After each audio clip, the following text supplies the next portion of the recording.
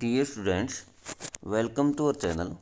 Today we will study worksheet number 41 सामाजिक विज्ञान class seven अध्याय मानव पर्यावरण अन्योन्य क्रिया।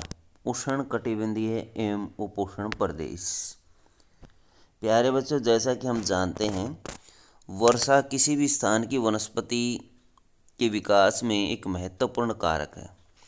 जिन प्रदेशों में अत्यधिक वर्षा के कारण सघन वन उग जाते हैं, उन्हें वर्षा वन कहते हैं। आइए आज हम वर्षा वन अथवा विशेषकर अमेजन बेसिन और वर्षा वन के निवासियों के बारे में जानते हैं। वर्षा वन वनस्पति एवं वन्यजीव और वर्षा वन के निवासी। तो देखिए वनस्पति के बारे में देखते हैं। इस तरह के वन अत्यधिक वर्षा वाले क्षेत्रों में पाए जाते हैं। वन इतने सघन होते हैं कि पत्तियाँ, पत्तियों और शाखाओं से छत सी बन जाती है, जिसके कारण सूर्य का प्रकाश धरातल तक नहीं पहुँच पाता। यहाँ की भूमि प्रकाश रहित और नमी बन, नम बनी रहती है। यहाँ केवल वही वनस्पति पनप सकती है, जिसमें छाया में बढ़ने की क्षमता हो। परजीवी पौधों के रूप में यहाँ आर्किड और ब्रोमिलॉइड पैदा होते हैं। टुकन, गुंजन पक्षी, रंगीन प्रजाति वाले पक्षी एवं भोजन के लिए बड़ी चोंच वाले विभिन्न प्रकार के पक्षी यहाँ पाए जाते हैं। प्राणियों में बंदर, सलौथ एवं चीटी खाने वाले टैपिर भी यहाँ पाए जाते हैं। सांप और सरीसृप की विभिन्न प्रजातियाँ इन वनों में पाई जाती हैं, जैसे मगर, सांप अजगर, एनाकोंडा, एम्बोआ। हज़ारों कीड़े मकोड़े भी यहाँ पर निवास करते हैं। वर्षावन के निवासी। तो वर्षावन में निवास करने वाले लोग इनके बारे में देखते हैं। यहाँ के लोग छोटे से क्षेत्र में वन के कुछ वृक्षों को काटकर अपने भोजन के लिए फ़सल उगाते हैं, जिसे कर्तन एवं दहन कृषि पद्धति कहा जाता है। यहाँ के पुरुष शिकार करते हैं और नदी में मछली पकड़ते हैं, जबकि महिलाएँ फ़सलों पर का ध्यान रखती हैं, क्योंकि मछली या शिकार मिलना अनिश्चित होता है। ऐसे में महिलाएँ ही अपनी उगाई साग सब्जियों से अपने परिवार का भरण पोषण करती है। इनका मुख्य भोजन मैनियोक है, जिसे कसावा भी कहा जाता है। ये आलू की तरह की ज़मीन के अंदर पैदा किया जाता है। आलू की तरह से ये ज़मीन के अंदर होता है। इसके अलावा टेपियोक, अनानास, शकरकंद आदि भी उगाए जाते हैं। ये चीटियों की रानी एवं अंडकोश भी खाते हैं। कॉफ़ी, मक्का और कोको जैसी नकदी फ़सलें भी यहाँ पर उगाई जाती हैं। वर्षावन अत्यधिक मात्रा में घरों के लिए लकड़ी प्रदान करते हैं। कुछ परिवार मधुमक्खी के छत्ते के आकार के घरों में रहते हैं। जबकि कुछ लोग मलोका कहे जाने वाले बड़े अपार्टमेंट जैसे घरों में रहते हैं, जिनकी छत तीव्र ढलान वाली बात होती है। अमेजन बेसिन के जीवन में बदलाव। 1970 में ट्रांस अमेजन महामार्ग बनाने, बनने से वर्षावन के सभी भागों तक पहुँचना संभव हो गया।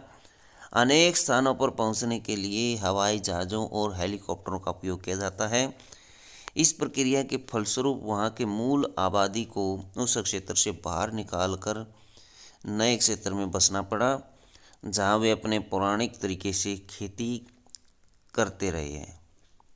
विकास की गतिविधियों के कारण जैविक विविधता वाले वर्षावन धीरे धीरे नष्ट हो रहे हैं। ऐसा अनुमान है कि प्रतिवर्ष अमेजन बेसिन के वर्षावन का का बड़ा भाग लुप्त हो जा रहा है, होता जा रहा है। वर्षावनों को, के लुप्त होने से व्यापक प्रभाव होता है। वर्षा के कारण मिट्टी की ऊपरी परत बह जाती है, एवं सघन वन बंजर भूमि में बदल जाते हैं।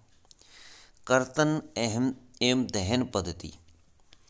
कर्तन एवं दहन पद्धति में किसान पहले वृक्षों और झाड़ियों को काटकर भूमि साफ़ करते हैं, फिर इनको जलाया जाता है, जिससे पोषक तत्व मिट्टी में मिल जाते हैं।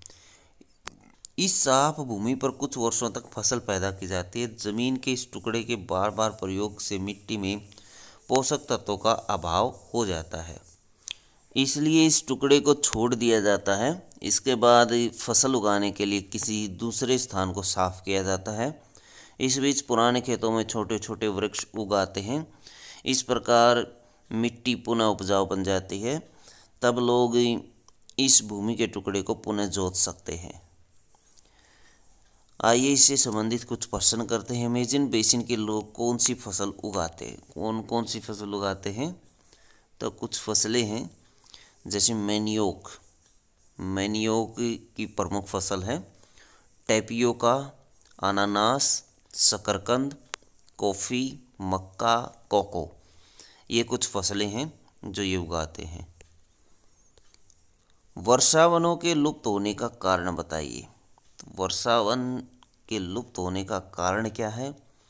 तो इसका जो मेन कारण है, जैसे वर्षावनों के अत्यधिक काटने से घरों के लिए लकड़ी चाहिए लोगों को तो घरों के लिए लकड़ी प्रदान की जाती है वर्षावनों से, या फिर विकास की गतिविधियों के कारण जैविक विविधता वाले वर्षावन धीरे धीरे नष्ट हो रहे हैं।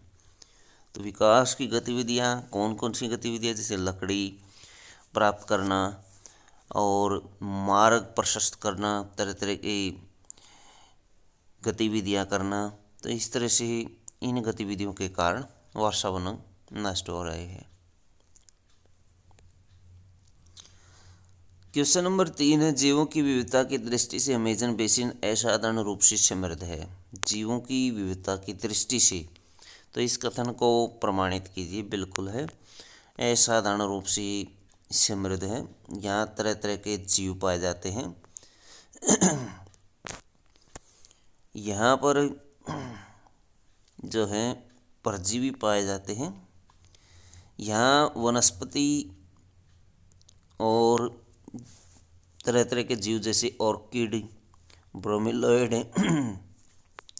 टोकन, गुंजन पक्षी, रंगीन प्रजातियाँ तो इसमें बहुत सारे जीव पाए जाते हैं, इनके बारे में आप लिख सकते हैं। यहाँ से लेकर के यहाँ तक आप ये लिख सकते हैं। तो बच्चों ये थी आपकी एस की वर्कशीट